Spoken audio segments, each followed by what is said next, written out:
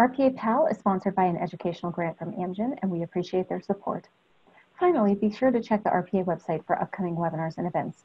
I will now turn this over to our moderator, Dr. Lonnie Paxton. Hello, everybody. Um, first, I'd like to give a brief introduction of myself and my two awesome panelists for today. I'm the COO of Georgia Nephrology here in Atlanta. I'm also a member of the PAL committee and the work, the CKD work group for RPA. I'm very thankful today for a couple of things. One, our practice for giving us the opportunity to be here and to speak with you. And secondly, to all of the RPA staff who've done an outstanding job in putting together today's presentations for us. I'll be adding today to the list of silver linings of COVID-19. Um, although we aren't gathered um, in person, this virtual opportunity for the exchange of ideas is really welcome at this time. And with that, I'll introduce our two panelists. Um, Dr. William Paxton is a managing partner of Georgia Nephrology. He's a PI for several studies in our research institute.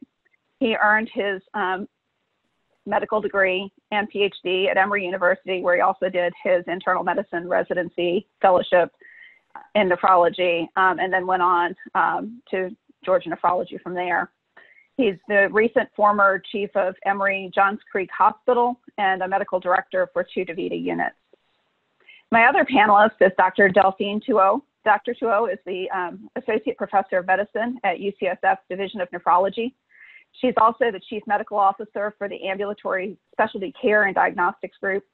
She's the Director of UCF Center for Innovation in Access and Quality. She did her undergraduate work at Stanford, her, her medical degree at McGill, her residency and fellowship at UCSF, and went on to achieve a master's in clinical science also at UCSF. With that introduction, I'll turn over the presentation to the other Dr. Paxton, and uh, we'll go from there. Uh, thank you. Thank you very much. Um, I'd like to just thank uh, RPA for asking me to, uh, to speak. And, um, you know, ho hopefully this will be a, an interesting session. Um, uh, on this first slide, this is my uh, this is my COVID slide. Um, I think we've all been looking for a barbershop or someplace to get our hair cut. Um, mine was getting so bad that I couldn't stand to see myself on my little video screen in the telehealth, and so my daughter actually cut my hair a couple weeks ago. She did a pretty good job, so it's much more uh, available uh, and acceptable. Um, the other reason that I have this slide is um, that I wanted to, to show the barber pole. And the reason is, um, if we go back hundreds of years, back in the Middle Ages, you know, the barbers were really uh, some of the medical providers, and there is some symbolism to the barber pole with the red and white stripes. Um, you know, the red stripes represent blood from uh, bloodletting or bleeding that they do, and the white is supposed to represent the gauze or the bandages that they use to, to stop the bleeding. And um, at that time, we really didn't have much to offer in terms of other tools of taking care of patients. We did what we could, uh, but, but bleeding was one of the few things that we had. Um, if we jump forward a couple hundred years, um, this is a painting uh, that's in the Dayton Institute of Art. You can see at the bottom, uh, it's titled Washington on his deathbed with the, uh, with the artist. Um, the reason I brought this up here is um, there's a very interesting story behind uh, Washington's death. And uh, if you have some time or come across it, it, it's worth spending a few minutes to read about. He died on December 14th, um, 1799. Uh, many people feel that he died of a bacterial epiglottitis. Um, in short, he basically woke up with a severe sore throat, uh, with progressive difficulty in swallowing and breathing um, until he passed uh, about 12 hours later in the evening. Um, at the time, his care was probably what would have been considered uh, intensive care for 1799. And um, I think based on what was done, if he had an advance directive, it would have been do everything because they literally did everything that they could. Um, they were still doing bleeding at the time. And uh, President Washington was bled on four different occasions. Um, they've estimated that they've taken that they took out over 80 ounces uh, of blood, uh, something in the order of four to five units. Um, in addition, they had developed some additional uh, tools. uh, for care. Um, they also did blistering of his throat as well as his extremities later in the day. He was treated with enemas. He was treated with cathartics and emetics, uh, basically everything that they had. Um, hopefully none of us have to have a, a, a last day, uh, much like the, the president did, um, but that's what they had at the time. They even considered doing a tracheotomy, uh, but the physicians in attendance, uh, after debating this, decided that it was too new and too experimental, um, and so they did not want to pursue that. So if we jump forward a couple hundred years, we go from one former president to another. Um, I think most of you know this guy. If you don't, uh, you should uh, take a chance, an opportunity to get to know him. Uh, this is Dr. Robert Provenzano, um, one of the former presidents of the RPA. Um, I believe he was president in 2005, which was the point that I came out of training. And um, had the opportunity to hear him speak several times uh, then and subsequently. And um, he, much like I, probably is not crazy about the telehealth stuff because he wanders around and I feel a little constrained here. Um, but at that time, um, I can remember uh, listening to Bob talk about uh, the transition in medicine. And, um, you know, there was all these discussions, oh, the sky is falling, the sky is falling. We're moving from fee for service to pay for performance, a value-based uh, reimbursement scheme. And um, as, as he was uh, describing uh, the changes that were coming, um, I remember him saying, look, these changes are coming. We can embrace them. We can try to participate in them. And in doing so, we might have a little bit of say so over the rules that are going to come out. He says, or we can stick our head in the sand and they're going to impose the changes on us and we'll be dragged into that uh, kicking and screaming uh, and we will have no say so uh, over over the changes. And i think that as true as those words were 15 years ago they're just as true now as we're looking at the uh, different kidney care models. Um, and i think that we have to embrace the fact that we are we really should uh, participate as much as we can in the planning and development because it's only going to be to our benefit. Um, the other thing that was occurring at that time was RPA started work on uh, developing a toolbox. Um, and part of the reason I was highlighting different tools that we've had, you know, now we have a whole slew of tools. We've got antibiotics, we've got medications, we've got therapies, and we've got dialysis. Um, as we develop the tools, uh, then people started to say, well, if we're going to pay for outcomes, how are we going to measure how well we're using our tools and our techniques? Um, I would give you the example that um, you could probably buy me a Da Vinci robot, which is one of the fanciest tools out there. Um, if you were to measure my outcomes on a Da Vinci robot, I'm sure that they would be abysmal. Um, so, you know, we, we have to be um, aware of, of what we want to measure and how. So um, how do we measure our outcomes, our use of the tools that we have? Um, one way that has been sort of in our midst uh, for several years has been core measures. Obviously, there's lots of different ways to measure, and uh, there's some ways to measure these that are moving forward. But I just want to use the core measures as an example. You know, for cardiologists, they're checking on uh, their heart failure patients. Are they being discharged on ACE inhibitor ARB? For us, we're tracked on CVC rates, a whole number of variables that um, you know end up in our um, uh, CMS uh, star rankings on our dialysis unit and so forth. Hospitalists are tracked on length of stay. So everybody's being measured. Um, some of this has actually resulted in good outcomes. Um, we have moved from the sort of experiential medicine of we see this uh, to much more of an evidence-based medicine, um, which overall has been good. Uh, but with the good, there is probably some downside as well. Um, we have developed protocols, pathways, you know, plans of cares, which I consider both good and bad. Um, when used correctly, they're great. When used unthinkingly, um, we can do better. Um, but the other issue that I think has come out of the, the move towards measurables is that we've gotten overly aware of them and somewhat um, overdriven by them to the point where it's really narrowed our focus. Um, the reason I have this picture up here is uh, some people have talked about this concept of siloing. You know, other people talk about well, staying just in your lane. Um, and that's okay if all you're looking at are the things that, that are being measured.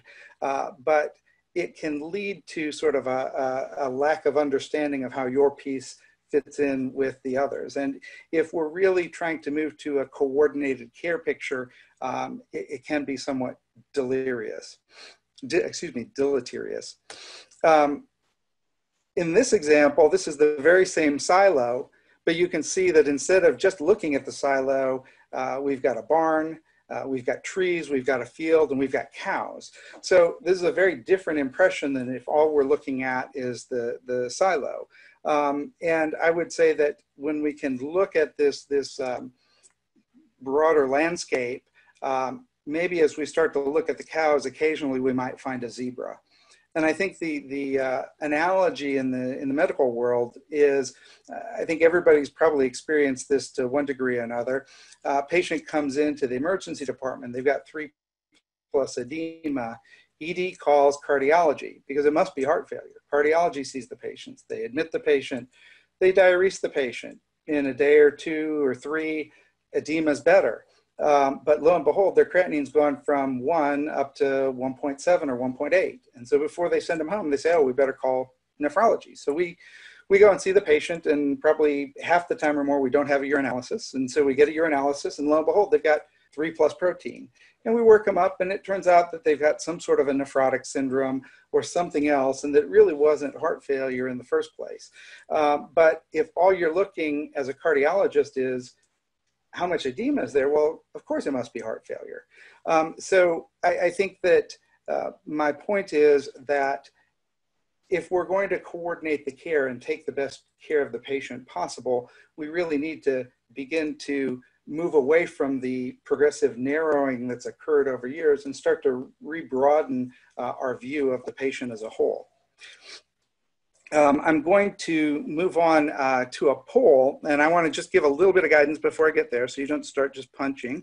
Um, there's four issues, um, and I want you to answer as many of these that you actively manage as possible. Okay, so um, these are uh, these are the poll questions. Are you actively managing hypertension, anemia, gout, or diabetes? And, and by anemia, I really mean, um, are you do you have a uh, anemia management protocol? Do you have an anemia manager? Are you actively managing this? If so, yes. If you are sending your patients out to hematology, then the answer should be no. So let me give you just a, a chance for that. And if you are not a provider, but you're a, uh, practice administrator, uh, feel free to answer on behalf of what you think your uh, favorite doc would answer for these. We don't want to leave anybody out.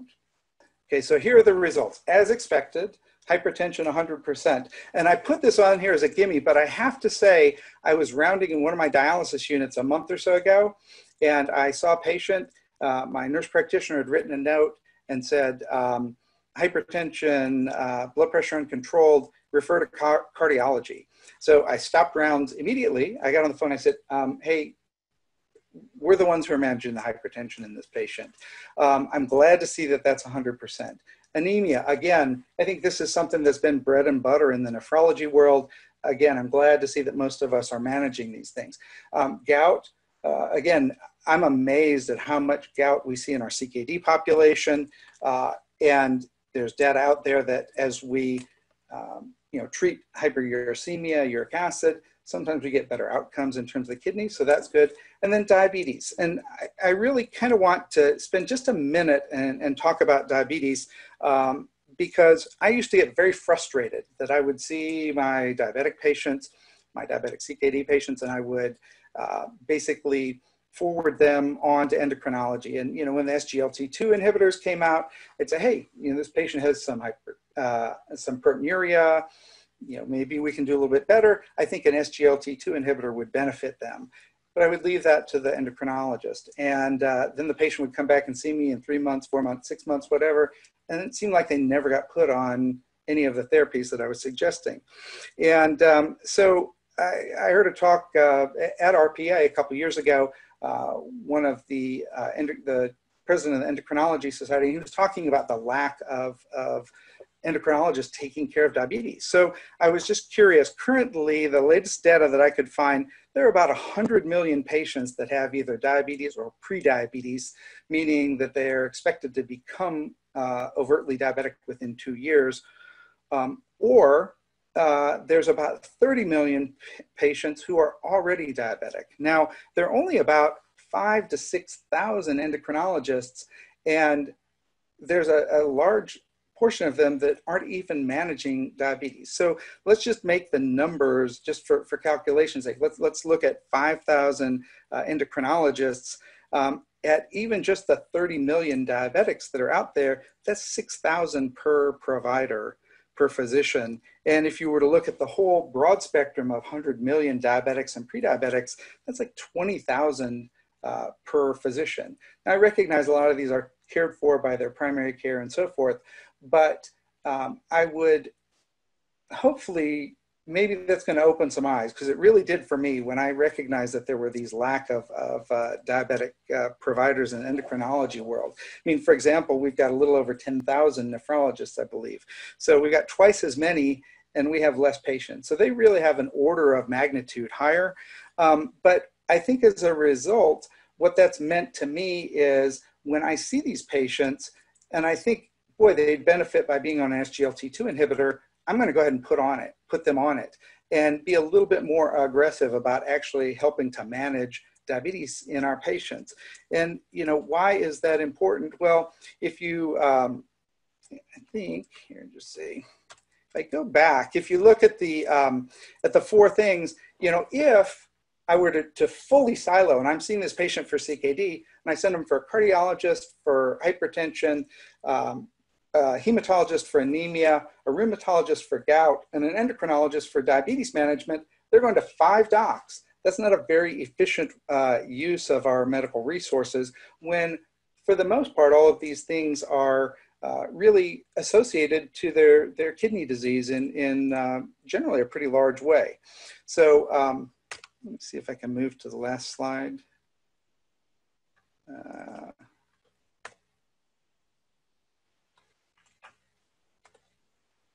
Okay, here we go. Um, so to kind of wrap up, um, I just like everybody to see the big picture. Um, you know, move away from that very narrowed uh, sort of specialty focused and, and, and look at the big picture. So we're not missing things that, that are almost obvious. Um, second thing is do what's best for your patient you know, part of what's happening is these CKD patients are being attributed to us. They are our patients. So we really need to try and do the best. And I'm not saying like, for example, I had a patient recently that was diagnosed with Schmidt syndrome, which is an autoimmune destruction of like all of the endocrine organs.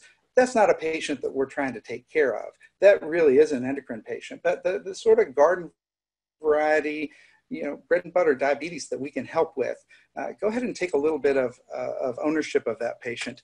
And then communicate, communicate, communicate. And, and by that, I mean, we got to communicate with the patients. If we spend just, just a minute and teach them how their, di- um, their diuretics work or teach them a little bit about what's going on, we can empower them to take better care of themselves.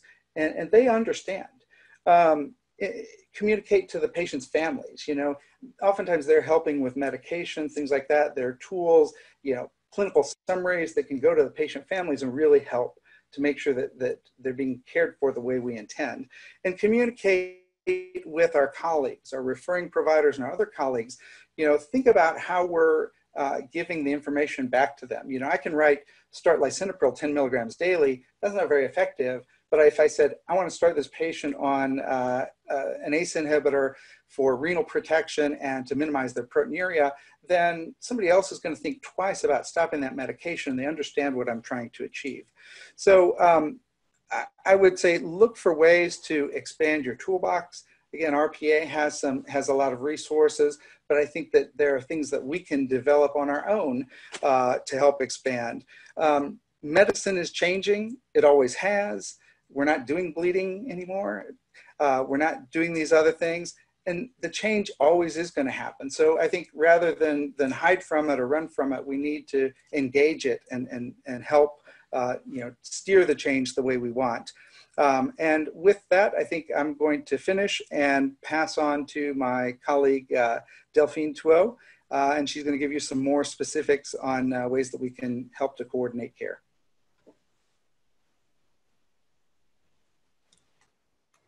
Great, thank you. So I just want to uh, take the opportunity to thank the RPA for uh, elaborating on tools that we can use to try to enhance primary care and nephrology collaboration, really building on many of the concepts that Bill just discussed. So this is just a conceptual framework that I like to use when thinking about primary care specialty care collaboration we have clearly a group of we have a shared approach and a shared desire of uh, quality metrics to take care of our patients. Many of them are applicable to all of our patients. And as Bill mentioned, many of them may just be applicable to a certain subset of our patient population. So we have to think about which quality metrics to use. But the idea is that they are a shared, they are shared.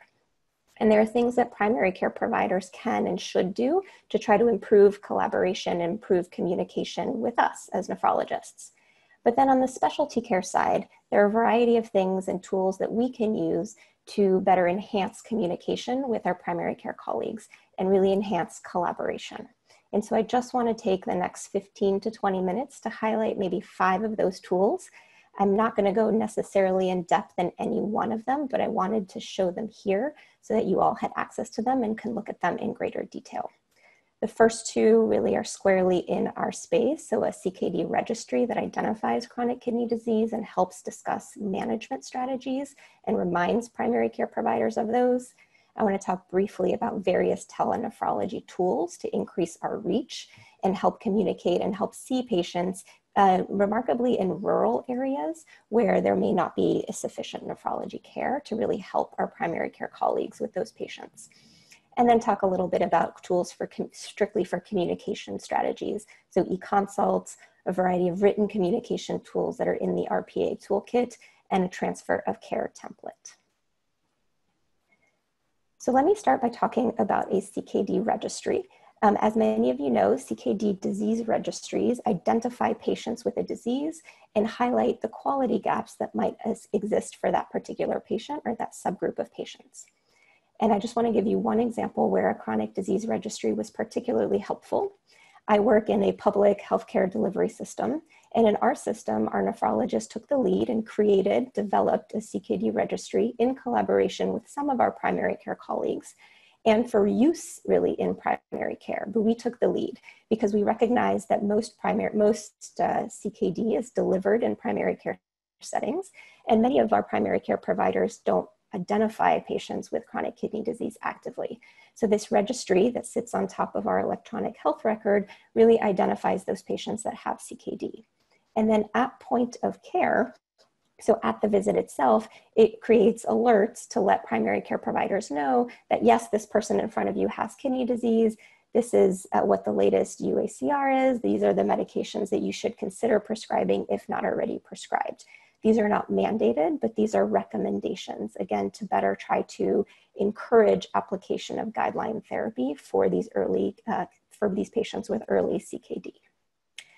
And this was particularly helpful for patients who are being seen in primary care as well as in nephrology care, but really in primary care, either via telehealth or via in person. But this was much less helpful for those patients with CKD that are floating out in the periphery and never actually make it to primary care. And so this, this registry also identified all the patients with chronic kidney disease who hadn't been seen in primary care in the last 18 months and provided quarterly feedback to those primary care teams that identified which one of those patients did not have blood pressure control, which ones were not on an ACE or an ARB yet had proteinuria, which ones had lots of, had macroalbuminuria or macroproteinuria that had not yet been minimized. And the idea of this was to really leverage the primary care team, so the medical assistants, the nurses, any nurse practitioners, to try to offload some of the work from the primary care providers. Again, recognizing that CKD is uh, challenging for many primary care providers and they have lots of other things on their plates. So this was our way to try to uh, teach them or try to provide uh, recommendations for the entire team to participate. And as you can see here, the graph on the right-hand side, you have adjusted odds ratio uh, uh, on in your y-axis, and you can see that among all of the patients with chronic kidney disease, those that were randomized to have a registry, so the patients whose primary care teams had access to this registry had higher odds of receiving an ACE-ARB prescription, um, as well as higher odds of albuminuria quantification. So our registry was actually positive in an improved care for our patients in, with early chronic kidney disease. Interestingly, it did not improve blood pressure control, which just goes to show how challenging it is to uh, control blood pressure in our CKD patients, but that might be a topic for another day. But it does highlight the importance of collaboration with primary care and the ability for primary care providers to, to deliver a lot of chronic kidney disease care with, uh, with help from their nephrology colleagues. And so registries are particularly helpful in closed systems, such as where I work, or systems that have established networks where you can really identify your population of patients and those who have chronic kidney disease. I think they may be a little harder to implement in groups that are in areas that are much more uh, siloed in practice and don't have shared patients. But these telenephrology tools can actually be applied in a variety of different delivery systems, and they really improve our reach in a high quality, equitable way. There was a recent uh, review article published in AJKD just last month, I think, that highlights how nephrology can be used to increase our reach. And they highlighted five different tools in particular. This first one is called CVT or clinical video visits, essentially the telehealth that you heard quite a bit about earlier today. They highlighted e-consultation. So electronic consultation is where a primary care provider sends a request or a question to a specialist. That specialist can then answer that question, and there's no expectation that the patient will necessarily be seen in the specialist visit or in the specialist office. And this idea is again to provide uh, more collaboration and more communication with our referring providers. Scan Echo is something similar, but it's more done on a group setting. So Scan Echo is a provider to provider uh, video conferencing mechanism that connects primary care providers primarily in remote areas with specialists in more urban or more academic centers. And the idea is to create a virtual in real time conference where you can present your cases and your specialist, your nephrologist can answer um, their recommendations for your complex cases. And it really promotes case based learning for the primary care providers who may be out on their own in the community. These last two um, telenephrology tools are really web based tools that are meant for patient education. And these are, uh, these are, these include low literacy written tools or low literacy PDFs that can be printed out, as well as videos and other uh, media to try to engage patients' understanding in their, uh, their chronic kidney disease and the complications thereof. And with the exception of this first office-based uh, clinical video visit, all four of these others can really occur outside of the traditional provider to patient encounter and thus allows us to extend our reach into the primary care community. And so with that, I wanted to launch the first poll. And the poll question is, in which of the following telenephrology modalities have you or a member of your group participated to deliver clinical care? And I'd like you to choose any that you have participated in, say in the last year. Is it clinical video visit? Is it e-consultation? provider to provider conferencing for in real time discussion about complex cases, or web based nephrology education for your patients. So I'll wait for a minute so that we can see the, the results of, those, of the poll. Excellent, so thank you. So these are interesting. So as we have seen earlier today, many of our, many of the participants and many of us have participated in clinical video visits or telehealth directly with our patients. Um, about a third have done e-consults, which is great and something I'm going to talk just a little bit more about. Uh, provider to provider conferencing, and many of us have used a web-based nephrology education, so that's great. And for the few of you that have not done any or participated in any of these tools, I would highly encourage you to do so.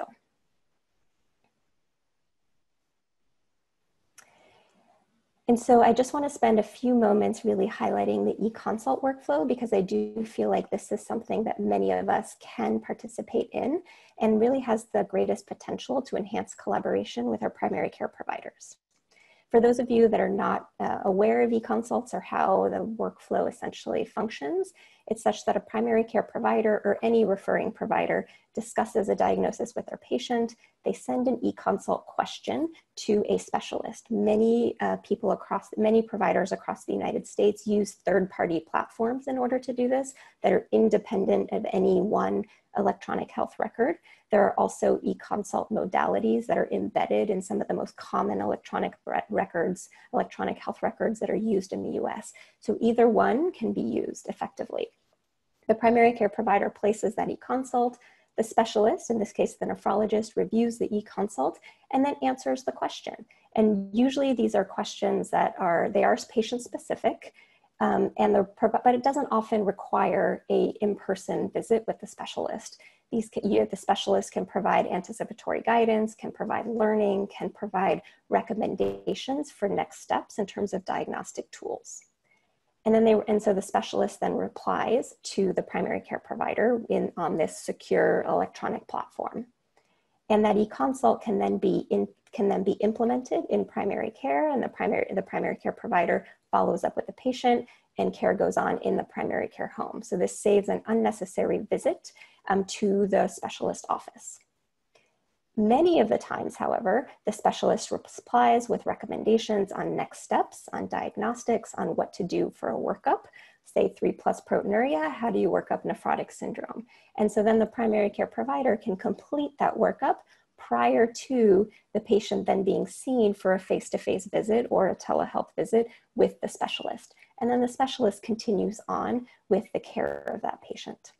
And e-consults are efficient in that they are asynchronous. They're outside of the regular tel- of the um, regular visit with your patient panels and primary care providers can complete or send e-consults outside of their traditional office visits as well. So we can really fit it in within our day-to-day lives, both on the referring provider side and the specialist side. E-consults also now have CPT codes and they are reimbursable by Medicare in many private plans. I think Medicaid plans, depending on your state, are starting to consider reimbursing them as well. So they do provide some remuneration. And importantly, they foster collaboration between the specialist and the referring provider, particularly if both of those individuals are local. If they're not local, they foster more virtual relationships or virtual collaboration. And importantly, these are really well received by our primary care providers e-consults in multiple different studies, um, including this one, but not limited to this study that I'm presenting here, have shown that e-consults are well received, are thought to be educational by primary care providers, and help uh, keep patients in primary care as much as possible. This is a study that was published in 2017 that looked at a multi-system e-consult program and asked primary care providers how has e-consult implemented or impacted your ability to manage any of these conditions in the past year? And you can see by the large percentage of the green graphs, the green bars, that most primary care providers felt that the e-consult responses helped them in their learning and helped them in their management. The idea being that the next time they refer to nephrology or any other specialty, the workup will be that much further along and uh, will be more efficient.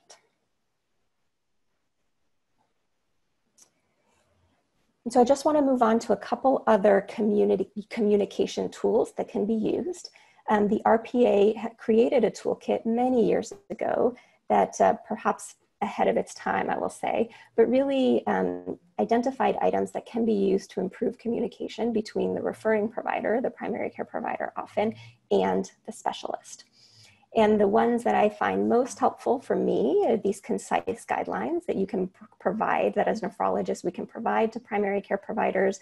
The guidelines probably need to be updated since the last time, but, um, but uh, these really provide anticipatory guidance and, and uh, guidelines or recommendations to primary care providers for basic chronic kidney disease complications and why and really provides an explanation as to why we do what we do. Why do we prescribe the ace inhibitor? Why do we titrate it up? Why do we recommend an sglt2 inhibitor etc um, the post consult letter we are all quite familiar with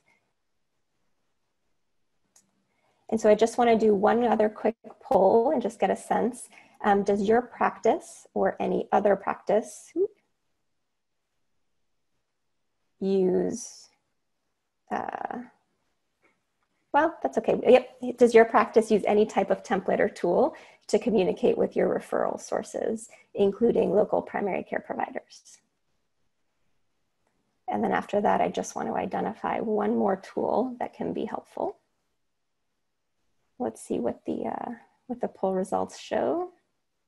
Great. So almost two thirds of us actually do use some type of template or tool to communicate with our referring sources. And um, this is impressive, and I think we can continue to use these tools and refine them to do a better job at communication. They may not feel like rocket science to us, honestly, but they are really important in that they codify our thinking and our explanations to our primary care providers. Nothing is more frustrating to receive a consult letter back without a clear understanding of why that physician or why that specialist did what she did and why she chose the management strategy that she has chosen. I myself have felt very uh, frustrated by that when I've received consult letters back from other specialists. And so this is the last tool that I just wanted to highlight, and this is a transfer of care template. Many, some of our patients that once we've seen, we've managed, their CKD is very stable, and they probably don't need to necessarily see us any longer. If you're in a situation where you have a supply demand mismatch and that the wait times to get into your clinic they're quite long and you have that uh, that ability excuse me you have that opportunity to send stable patients back to primary care this is just one example of a transferred uh, template and the idea just being that it again is um, templated so that you can provide very clear anticipatory guidance and importantly, really uh, tell your primary care providers when they should re-refer to you um, so that the patient doesn't get lost and doesn't just stay in primary care forever.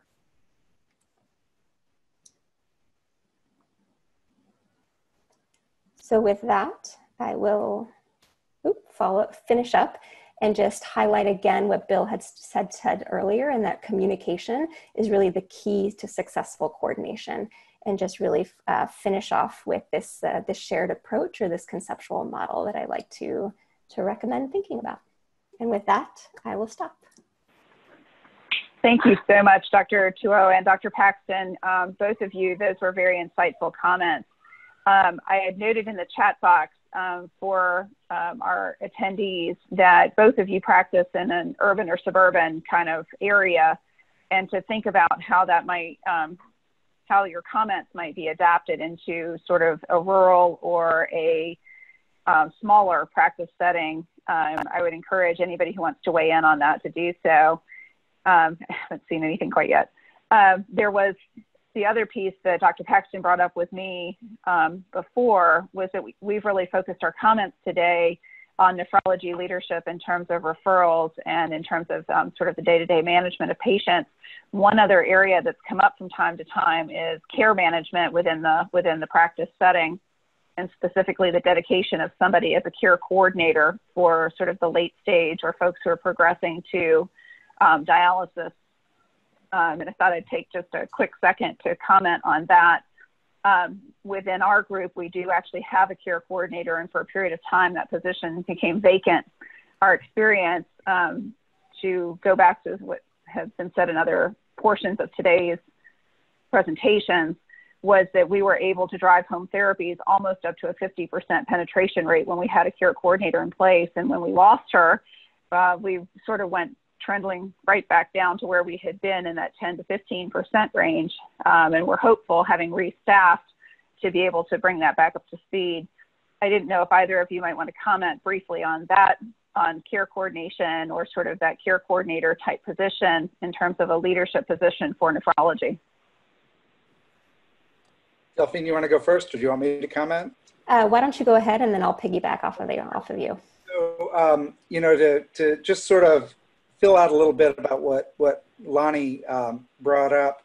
Um, you know, we had a patient, or i am sorry, a provider in this role who was was uh, working to help with transitions, uh, both to dialysis, you know, having somebody to sort of hold their hand along the way, um, or through the transplant process, and they also helped coordinate to make sure that the patients were getting their their CKD education, to get their access, to go to their appointments. They would call them and say, hey, you've got an appointment coming up tomorrow with Dr. So-and-so for your access surgery. Because what we were finding was that all too often the patients would conveniently forget about their appointment or come up with some other reason that things weren't getting done.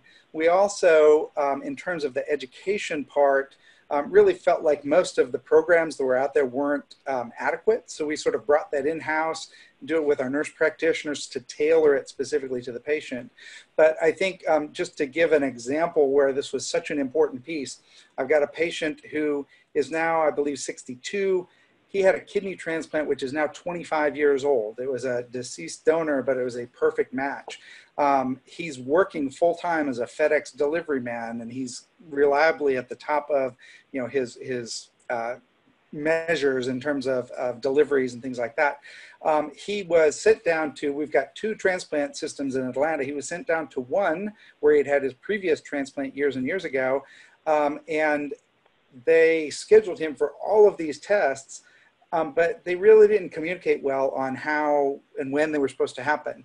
And so when he would get a call the day before and say, "You're supposed to be here for an echo, or you're supposed to be here for, uh, you know, a CT scan." Well, he was scheduled to work the next day. He couldn't change in in a dime, and so they labeled him as being non-compliant. Now, again, he's got a 25 year history of taking care of a transplant. He clearly can take care of his kidney, and he's working full time. But I think that and this all occurred in the setting between our coordinators. And I think that if we had had a coordinator in position there, they could have been aware because they keep track of the, the patient's appointments and help them through the process. Um, and I think that's just one example of, of, of where I think we could have had a better outcome. You know, now he's starting the process again with our other transplant system because I think the, the water has been poisoned a little bit with, with the first one unfortunately, it looks as if we may have lost Dr. Tuot. So I'm gonna um, I'm gonna ask the one question that's come in and, and ask you to weigh in on that. And if she's able to rejoin us, we'll continue from there. Um, the question says, obesity is associated with hypertension, diabetes, and gout. If a patient is obese, what is your opinion on nephrologists addressing obesity with patients? Um, great point um, we see tons of obesity, especially um, down here in the south, because in addition to being the diabetes belt and the the stone belt, I think it's also the fat belt too. Um, but um, it, as you said, it plays a role in almost everything that we do. And um, so I think that it's important for us to address that with the patient. I think that it's important to reinforce when they are trying to lose weight that they actually have. You know, if I see that they've lost five pounds or 10 pounds, continue to reinforce that. I think that it's useful to help refer them to resources. I don't think it's necessarily our job to prescribe a diet for them, et cetera, et cetera. But it's always been amazing to me um, how big an impact it has when we as a physician tell someone you need to do this you need to lose weight you need to stop smoking etc um, and I, you know in practicing for 16 years the number of patients that come back and say hey you know doc i'm so glad i stopped smoking five years ago and i, I really appreciate that you you told me i needed to because it, it, sometimes it's just hearing the right message and the right words. And I think that that's what our role is in terms of helping the obese and overweight patients. All right, well, thank you. I believe that that brings us to the end of our session. Um, thanks to everybody who's attended, and thank you to both you and Dr. Tuot for your excellent presentations today. Thank you. I'd like to echo uh, Dr. Paxton's thank yous. Um, thank you everyone for joining us today. Uh, we know it's been a, a, busy and informative day so far, so we appreciate you sticking with us. Um, so it sounds, it seems like uh, Dr. Tuot may have had a tech glitch and got lost at the very end there, but um, we really appreciate all the, the thoughts and uh, insights that you both have provided. Um, and with that, I'm going to suggest that everyone close out of this Zoom. Um, you can either go back to the conference website or to your email to launch the next, excuse me, the next session, which will begin in five minutes. Again, thank you.